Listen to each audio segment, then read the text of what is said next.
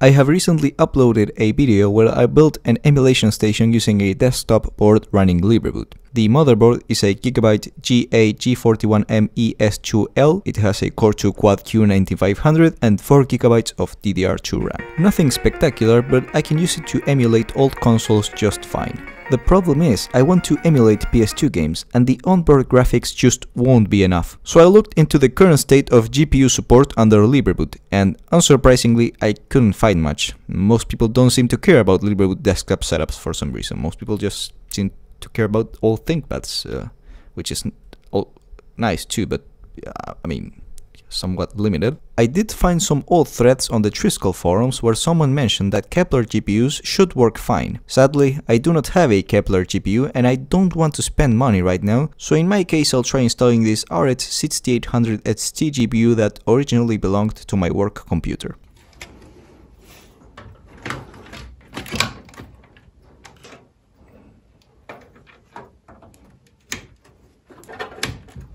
Initially I tried installing Arch Linux, but for some reason the computer will just randomly shut down during the installation process. So I tried installing Debian and well, that actually worked. I mean, I, it didn't shut down during the installation process, but I did have some issues after the installation. For some reason, LightDM failed to start. I tried using different display managers, but that did not work. I also tried not using a display manager at all, and that also did not work. I wasn't really sure what to do now, so I simply started distro hopping and trying random things, and eventually it did work. I installed Manjaro and replaced LightDM with SDDM, and that actually worked just fine.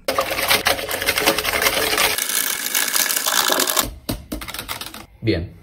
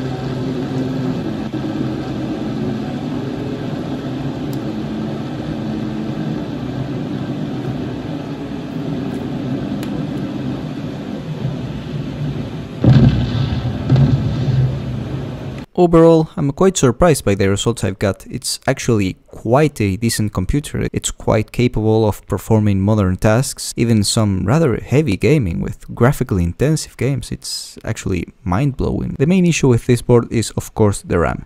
It's DDR2 so it's quite slow and it only has two slots so yeah. I think LibreBoot supports a socket 775 board that uses DDR3 RAM but I just couldn't find one in my country so yeah, yeah this, this is what I had.